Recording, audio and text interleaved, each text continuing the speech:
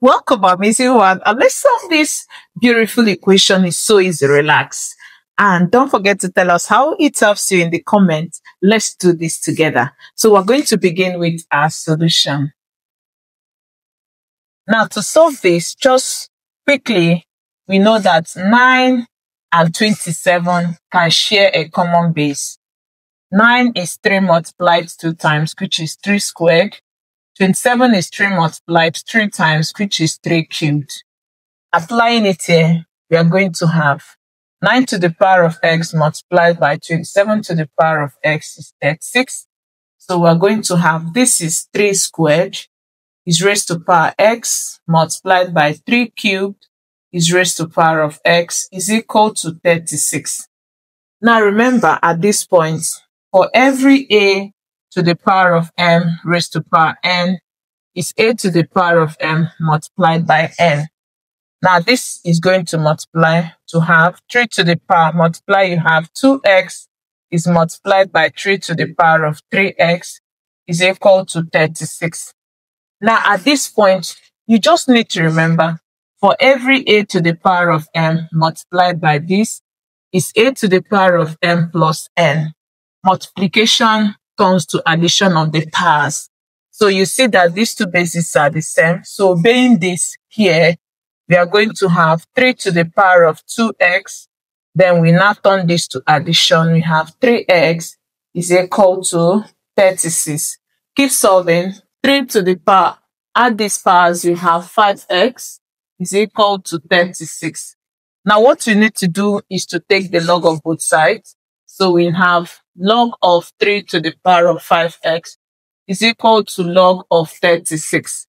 Now remember, for every log of a to the power of x, the power always multiplies the log. So this is what we have. Now if you apply this rule here, we are going to have 5x is to multiply log 3, which is equal to log 36. Remember your target is x. So since they are multiplying to get x, divide both sides by 5 and then log 3. You do same here. So if you do that, this takes off this, this takes off this. So we have x is equal to log of 36 divided by 5 log 3. Do you intend to leave it at this point? No, it's not yet simplified. Now, this 36, we are going to simplify it. We know too well that 36 is the same as 4 multiplied by 9. And this form, as we have said, 4 is the same as 2 multiplied by 2, which is the same as 3 multiplied by 3. So if you apply this on this, we are going to now have x is equal to log of, now you see that 2 appeared two times. So it's going to be 2 squared multiplied by 3 squared and it's divided by 5 log 3. Now remember quickly, for every log of a multiplied by b, it's always log of a plus log of b. Now we're going to apply this rule on the numerator. So if you do that, x is equal to log of 2 squared plus log of 3 squared divided by 5 log 3. Now what do you do? We are going to use this to divide each of these logs. And to do that, also for you to have watched through this point, it shows what you do interested. Don't forget to give this a like. Let's know what you feel about this class in the comment.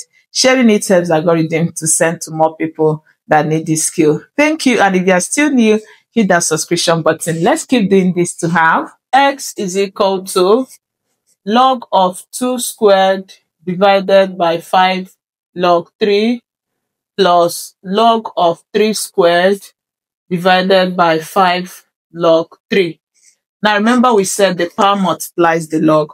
So it means x is equal to 2 log 2 divided by 5 log 3 plus 2 log 3 divided by 5 log 3.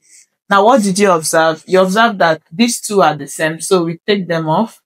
These are not the same. So remember, at this point, if, if whenever you have, for every log of A divided by log of B is always log of A base B. So we are going to apply this rule to simplify this. So if you do that, x is going to give you 2 over 5 log 2. This turns to base 3. Then plus this will give us 2 on 5. And this gives us the simplified value of x.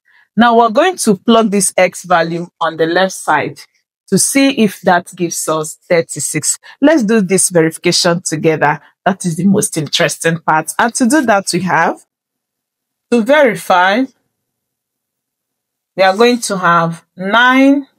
Our x is this. So we have 2 on 5 log 2 base 3 plus 2 fifths. Then is multiplied by 27. 2 on 5 log 2 base 3.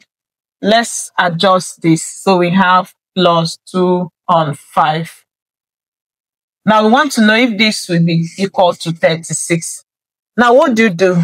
Remember what we said earlier. For every a to the power of m plus n is a to the power of m multiplied by this. So we're going to see that this is of this form. So we want it to be in this form. So if you do that, we are going to have 9 to the power of 2 on 5 log 2 base 3. This addition sign at the power turns to multiplication. Then we have 9 to the power of 2 fifths is multiplied by 27. Do same here. So we have 2 fifths log 2 base 3. Addition sign turns to multiplication. We have 27 raised to power of 2 fifths keep simplifying. So we now have, remember we said 9 is 3 squared. So we have this raised to power of 2 fifths log 2 base 3 multiplied by 3 squared raised to power of 2 fifths is also multiplied by 27 is 3 cubed is raised to power of 2 fifths log 2 base 3 is also multiplied by 3 cubed raised to power of 2 fifths. Now, what do you do? Remember also what we said. a to the power of m raised to power n is a to the power of m multiplied by n. So you multiply the powers. If you do that, we are going to now have 3. This multiplied, remember this is over 1. So you multiply 2 and this will give you 4 fifths log 2 base 3 is multiplied by, this is over 1. This will give us 3 to the power of 4 on 5. Is also multiplied by, now do same here. This is over 1. 3 we multiply 2, so we have multiplied by 3 to the power of 6 on 5 log 2 base 3 is multiplied by 3 to the power. This is over 1. Multiply this, you have 6 on 5. Now, what do you do next? Just remember, for every a to the power of log of b base a, this is always equal to this number b, provided that these two bases are the same. So we're going to apply this rule on these ones to help us to simplify. And to do that, we are going to have, looking at this, you observe that the coefficient of this log is 1. But what we have here is 4 fifths. So remember, we also said that the coefficient of the log is the power of the number.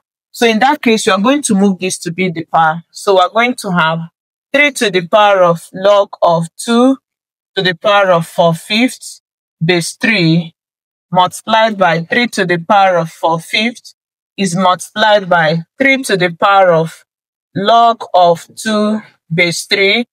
This becomes the power. So we have 6 to the power of 2 raised to power 6 on 5. And this is multiplied by 3 to the power of 6 on 5. Now, what do you do? You see that this is now this form. And since these two bases are the same, we are going to have 2 to the power of 4 on 5. For simplifying this is multiplied by 3 to the power of 4 on 5.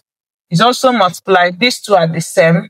So we're going to have 2 to the power of 6 on 5 multiplied by 3 to the power of 6 on 5. Now we're going to gather these two together and these two together to have. Doing that, we're going to now have 2 to the power of 4 fifths multiplied by 2 to the power of 6 on 5 is multiplied by 3 to the power of 4 fifths is multiplied by 3 to the power of 6 on 5. Now, also know that the two bases are the same and they're multiplying. So add the powers.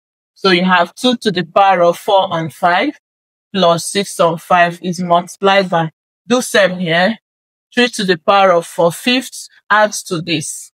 So if you simplify, you have 2 to the power. Denominators are the same. So add this to gives you 10 divided by 5 is multiplied by 3 to the power. Add this, you have 10 divided by 5.